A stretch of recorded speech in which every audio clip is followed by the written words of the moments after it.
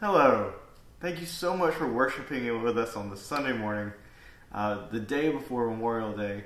We just wanted to say thank you to all those who, families who have loved ones who paid the ultimate price uh, for us to continue to, to enjoy being in America and the freedoms that we enjoy. And, and if you know someone who had a family member who uh, gave the paid the ultimate price, uh, remember them today. Take some time tomorrow uh, to to pray for them and that family as they're remembering uh, that loved one as well. Today we've got a great service for you. Uh, we've got a message from Brother Matt, a message from Ms. Michelle. Uh, Kathy's going to be playing some music for you. And now we have a, um, a, a, tribute and a, a moment to remember those who gave their life.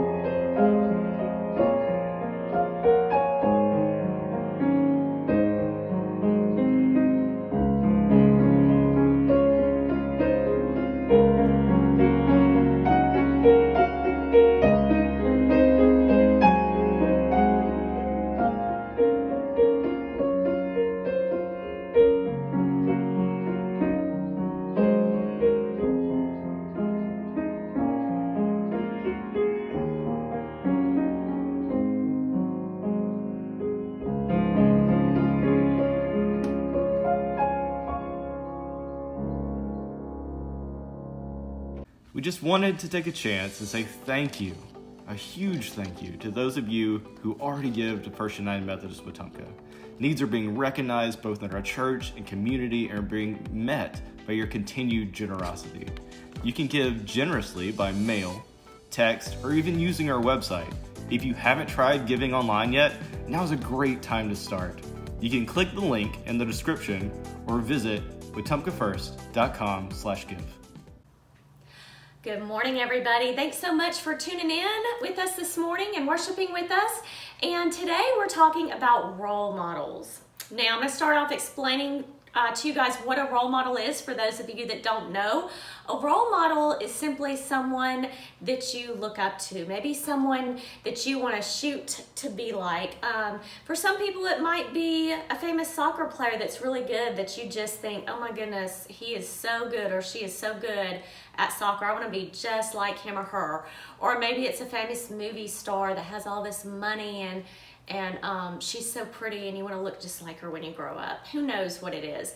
But what I want to talk to you about is how important it is to pick a really good role model.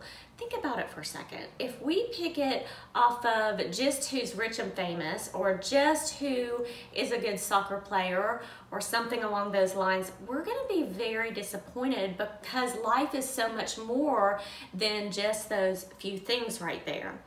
And the best role model that I can think of is Jesus. He's right there to read all about and find just what type of role model and person that he is. All that's written in the Bible for us to read about and find more about um, how he treated people and what kind of person he was for us and still is today for us.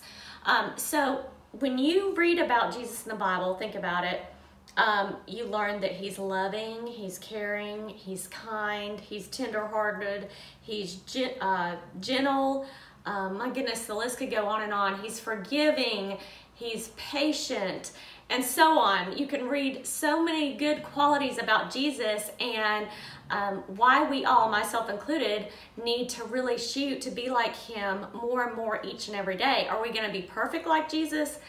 No, because we're human and Jesus is God's perfect son. So only Jesus is perfect, but it gives us something to shoot for each and every day. Um, Ephesians 5, uh, verse 1 tells us to be imitators of God in everything we do. Paul writes that for us. Look it up, Ephesians 5 1.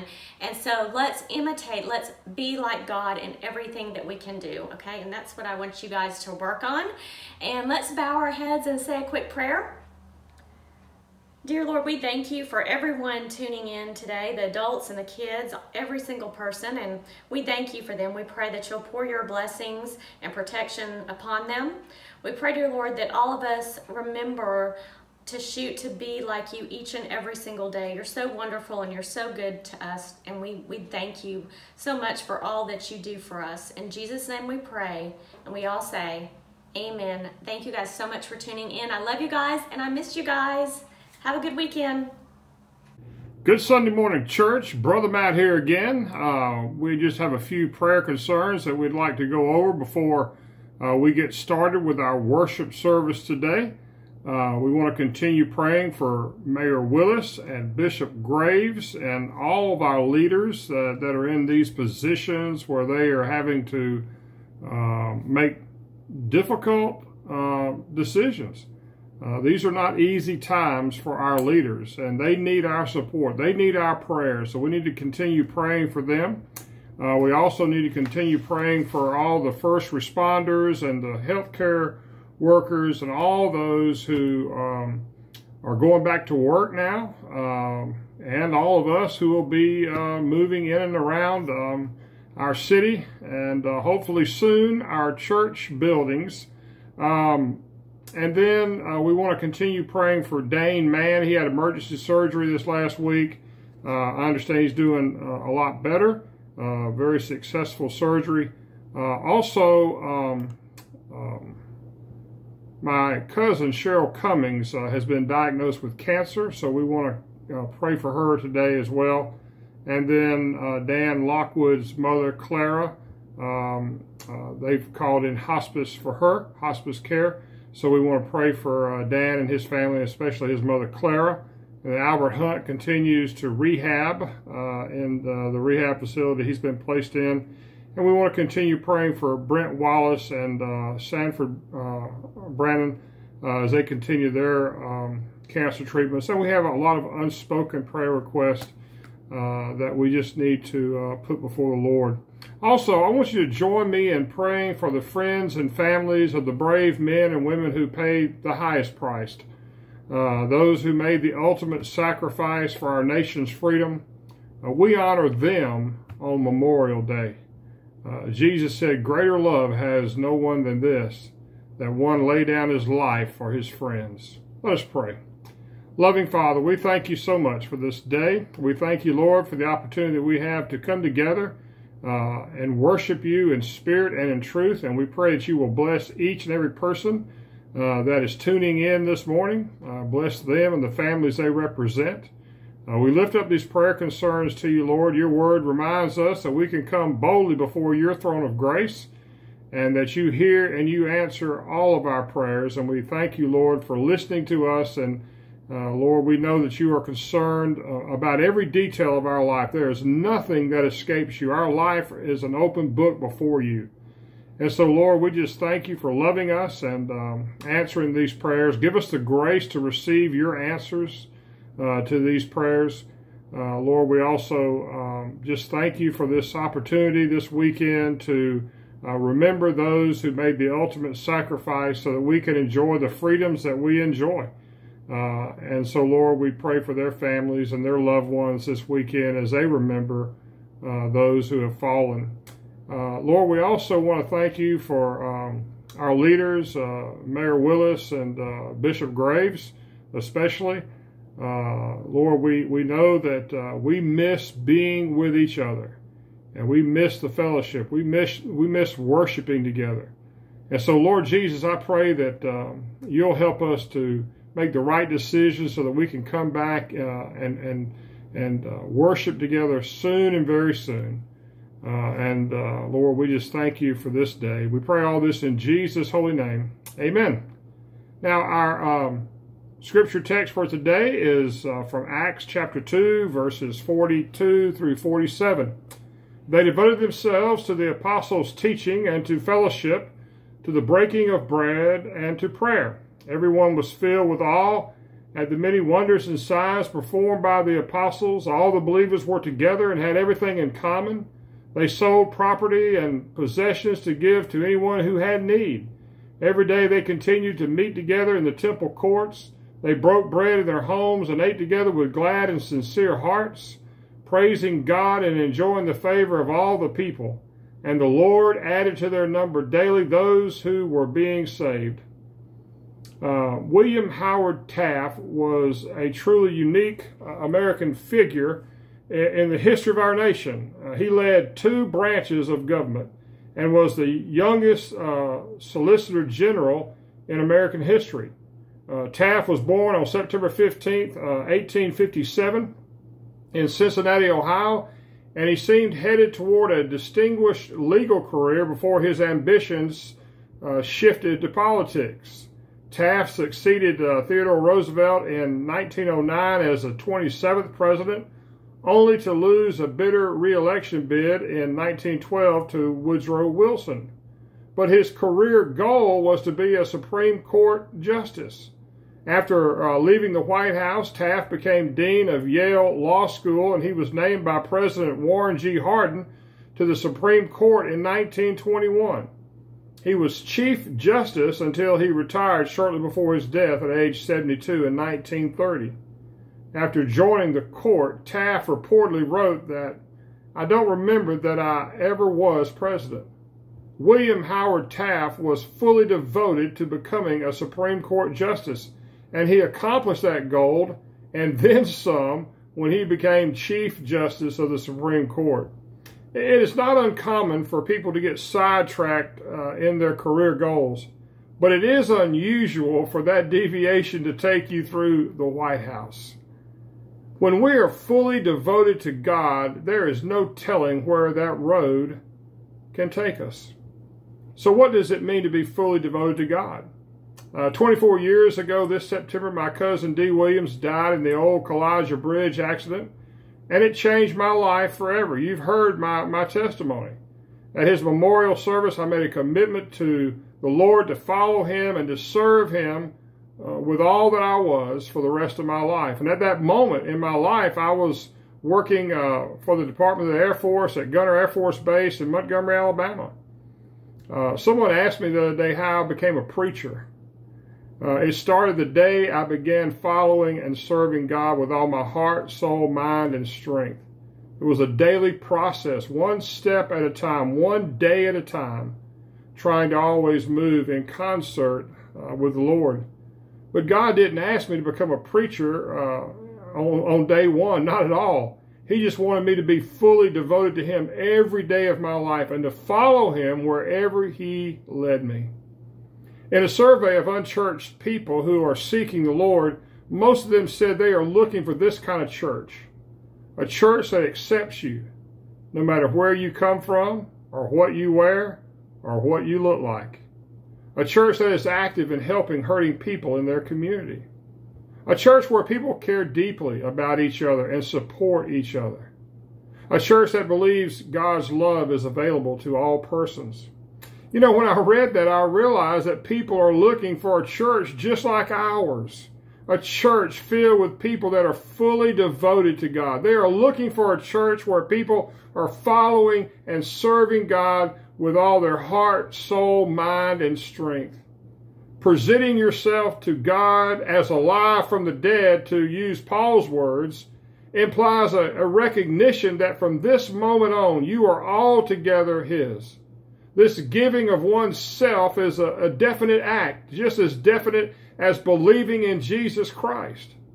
There must be a day in your life when you place your life into God's hands, and from that day forward, you belong to Him and you are no longer your own. God wants us to be fully devoted to Him and to His will for our lives and do whatever He requires. It is a complete and daily surrender. Service to God then becomes one's lifelong mission. I'm not saying that we should not be faithful and committed to our career. That's not what I mean. We still need to be faithful and serious in our vocation because God has put us there for a reason. Uh, that's our that's our field. That's where we've been planted so that we can be God's witnesses in this world. But we must see that our entire life is directed toward our service to God. We do everything for the purpose of obeying God's will and pleasing Him. That's the reality of devotion. Devotion to God means serving others.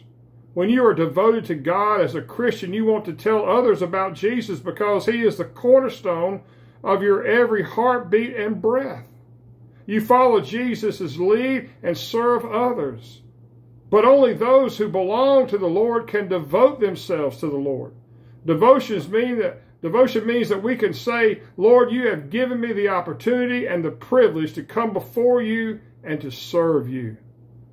I think Paul said it best. I've been crucified with Christ and I no longer live, but Christ lives in me.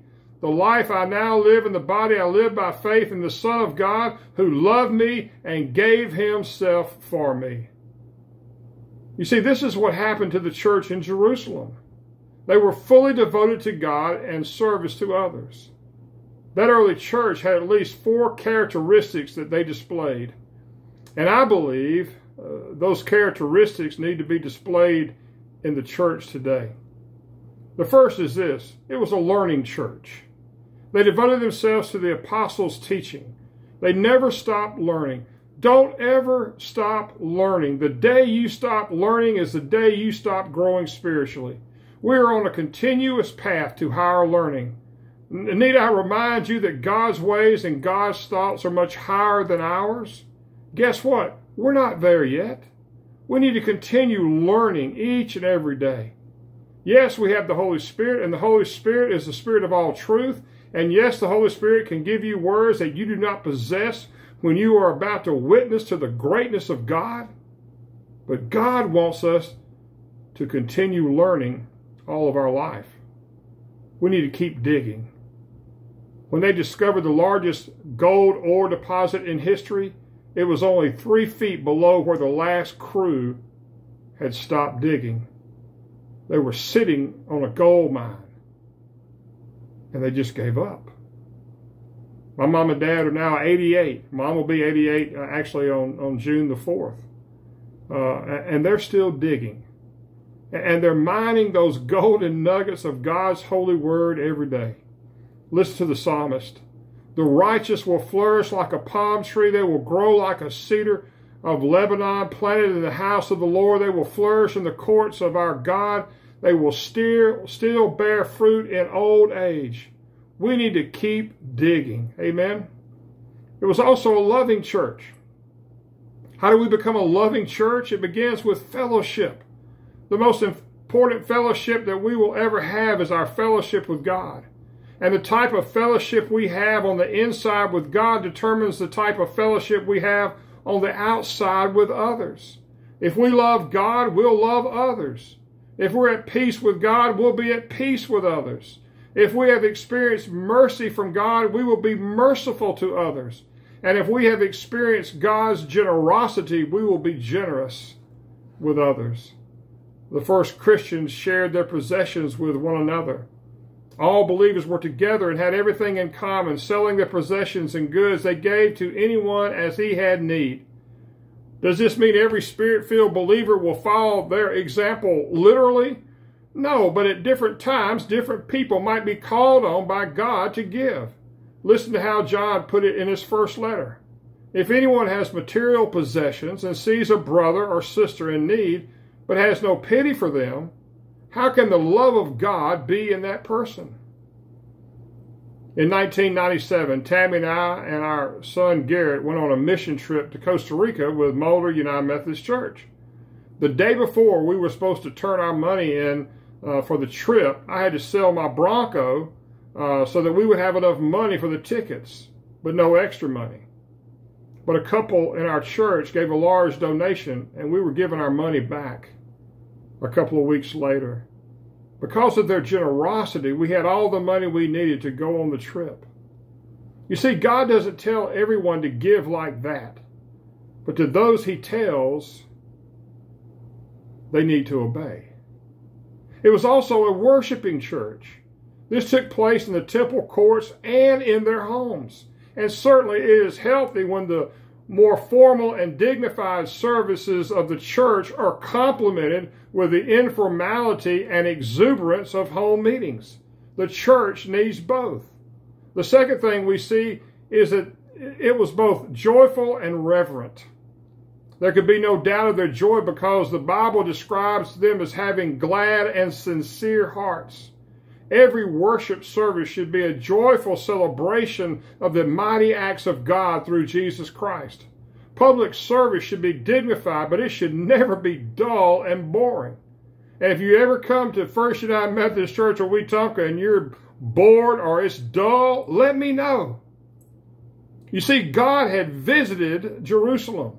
He had visited their city and everyone was filled with awe, which seems to include the Christians as well as the non Christians.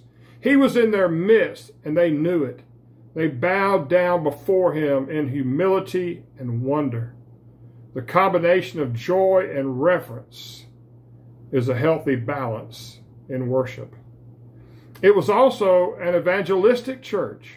Praise and proclamation were both a natural outflow of hearts full of the Holy Spirit. The Bible says, out of the overflow of the heart, the mouth speaks. They praised the Lord and they proclaimed the gospel, and the Spirit drove the church to witness. Not only did they worship daily, they witnessed daily. And the Lord added to their number daily those who were being saved. God grew the church, and God is still growing the church. Listen to what Paul says I planted the seed, Apollos watered it, but God has been making it grow. So neither uh, the one who plants nor the one who waters is anything, but only God who makes things grow. The one who plants and the one who waters has one purpose, and, and they will be rewarded according to their own labor.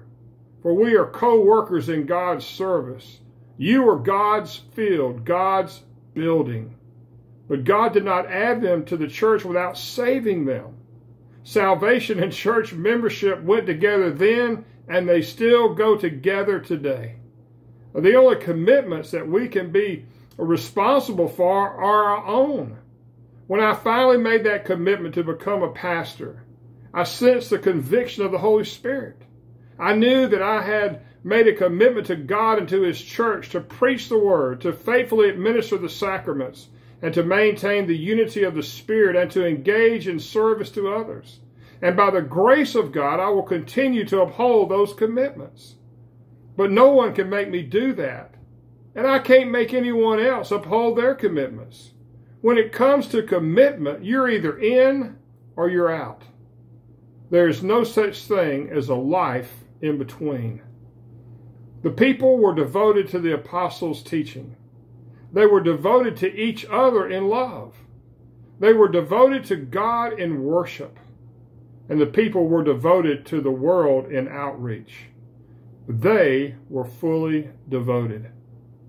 Maybe today you are ready to be fully devoted to God. Amen. I hope that you've enjoyed our time together. Uh, it blesses me so much to be able to do this. Uh, even in these difficult times, um, God has been blessing me uh, as I study His Word and and as God, um, you know, just helps me to to understand uh, more clearly what we're going through. Uh, and I pray that you will continue praying for me and our leaders of our church as we make some difficult decisions over the next couple of days. Um, as always, uh, be safe, be healthy, and stay in Christ's arms. Y'all have a blessed day. I hope you enjoy your Memorial Day tomorrow. We'll talk to you later. Bye bye.